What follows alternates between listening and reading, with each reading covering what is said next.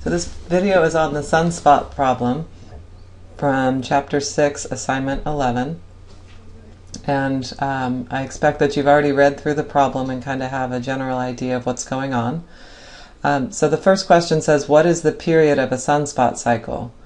So there were 198 years in this period of time, 1948 to 1750. So if you subtract those values, you get the 198 years, and you know that there were 11 complete cycles in those 198 years. So you need to take 198 and divide it by 11 to get the length of one cycle. So that's some arithmetic that's um, part of the problem, and there isn't a good way to teach you that. You just have to read the problem and have the confidence to think about it and figure out. So this first question is 18 years. Okay. Assume the number of sunspots per year is sinusoidal. That just means a sine or a cosine function. Um, of time with a maximum, and a maximum occurred in 1948. So 1948, and we're going to call this years since 1948. That we get that clue here that we're saying as a function of years since 1948. And number of sunspots is 110. Now, if one cycle is 18 years, then we will be back to 110 sunspots in 18 years. And halfway through there, we'll get to a minimum at uh, nine years. So then the years that this happens, this will be 1957, and nine years after that is 1966. And then every 18 years, this starts over. So let's put 110 on right here on the y-axis because that's time zero. And we'll be back to 110. And then in the middle of that, we have only 10. It's probably a little too high. Put it down here. Okay, so that's 10. I'm not spending a lot of time thinking about the scale here. I'm just trying to get a rough sketch to help me get the function. So this was 9. This is 18. And that should be enough to get this cosine curve. So it looks something like this.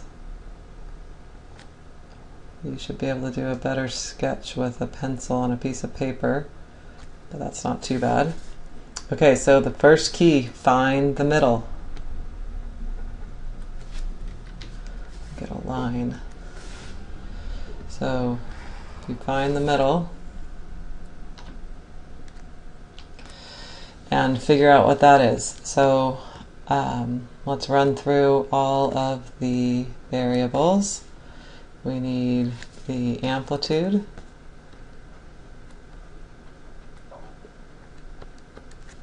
And the period and the vertical shift and the horizontal shift.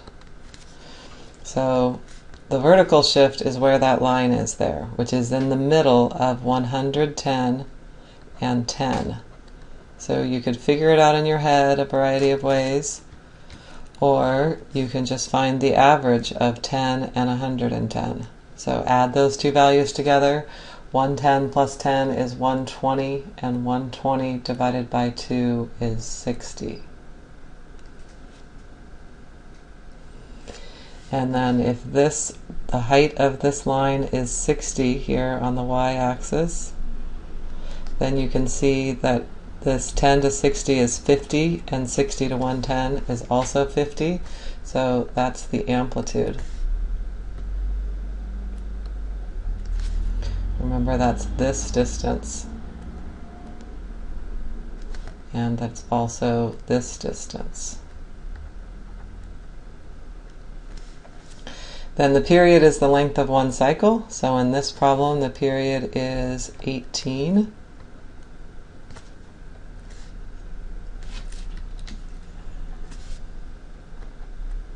Because it took 18 years from here to here. All right, and then I would say the horizontal shift is zero because this first point here is right on the y-axis.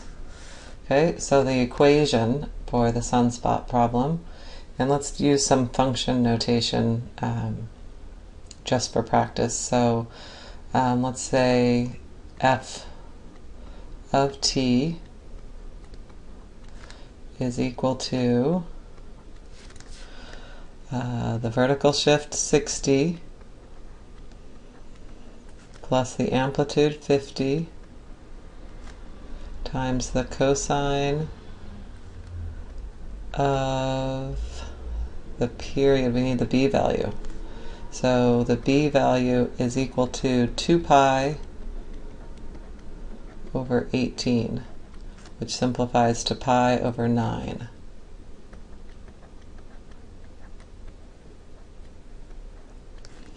And then the time, and then uh, 0. So we have some extra parentheses here. We didn't need those there. So 60 plus 50 cosine pi over 9t will give us the function for the sunspot problem.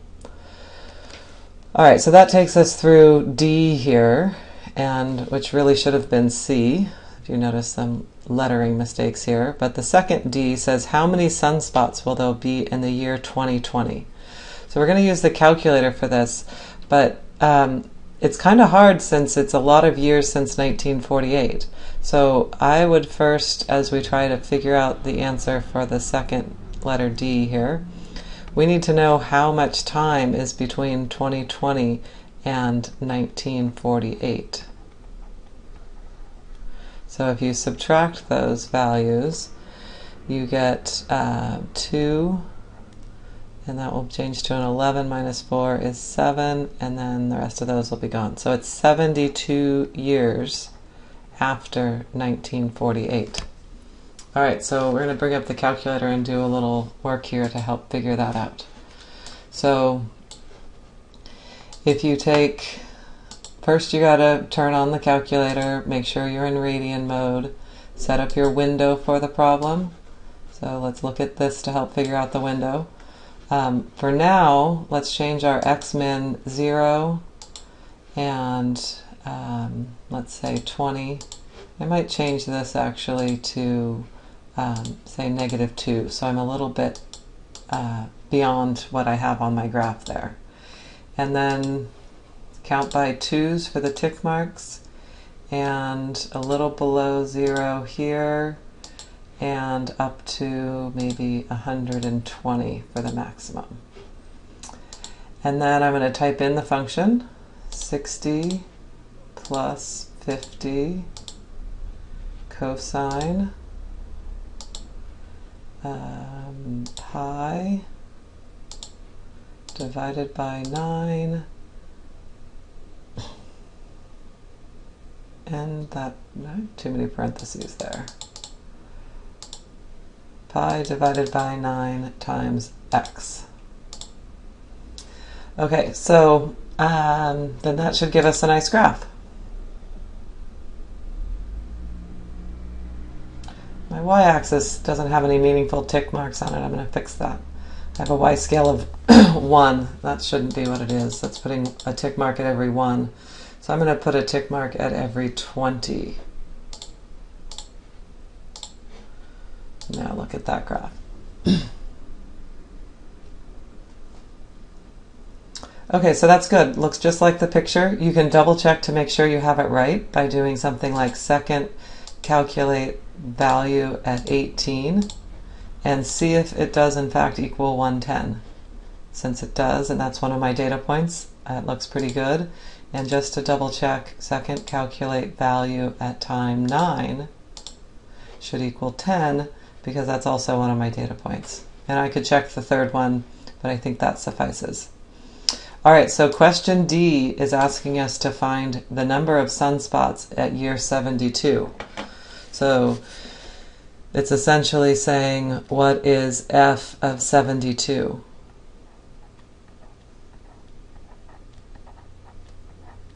So plug in 72 into the equation into the calculator and get the y value there. Now the problem is, is my window is only going from 0 to 20 about, and I need to substitute in 72. So I need to change my window. And I don't really need to see all of these. How about we change the window to be from say 60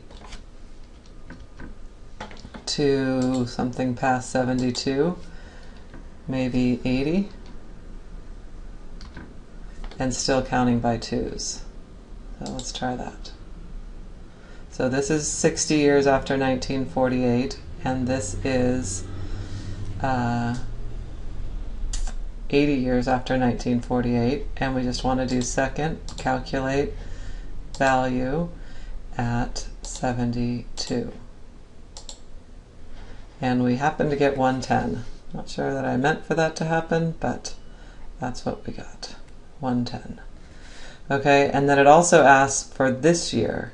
So this year, 2013 minus 1948 is, uh, I have it here, 65 years after 1948. 2013 is 65 years after 1948. So bring the calculator back up and adjust the window so I can, oh I can do 65 because it's going down to 60.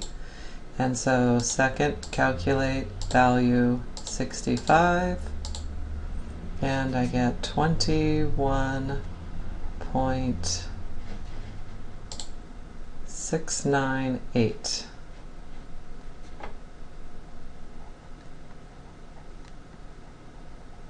All right. Then E says find the first year after year 2020 in which there will be about 35 sunspots. So after year 2020, and that's 72, for which there'll be about 35 sunspots. So I'm going to give us some more room here. And here. And we need 35 sunspots. So we're going to come in here and we need 35 and we want it to be after year 72. So I'm going to adjust the window again so I make sure I get the right data and change this to 70 and maybe bring this up to 90. And graph that.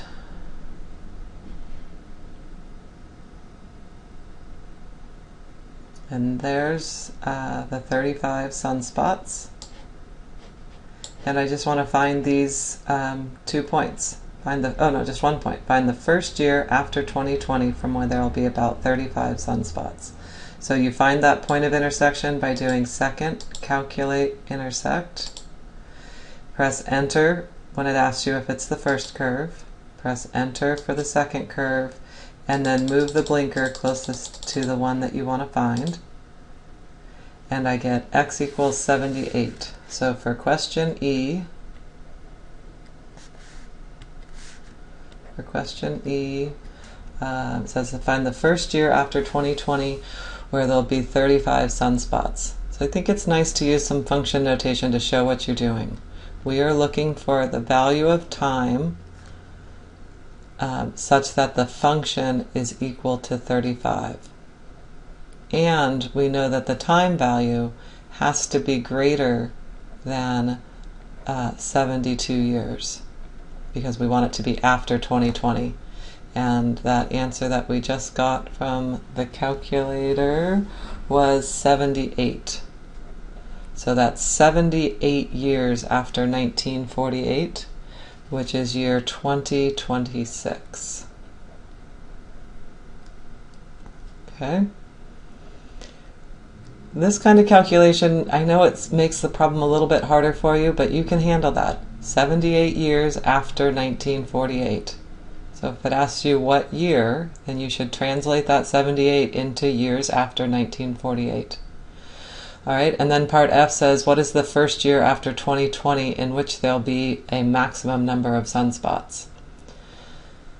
Now that question you don't even really need the calculator for because there was a maximum number of sunspots in 2020, 110, And so 18 years after that, there will be another maximum.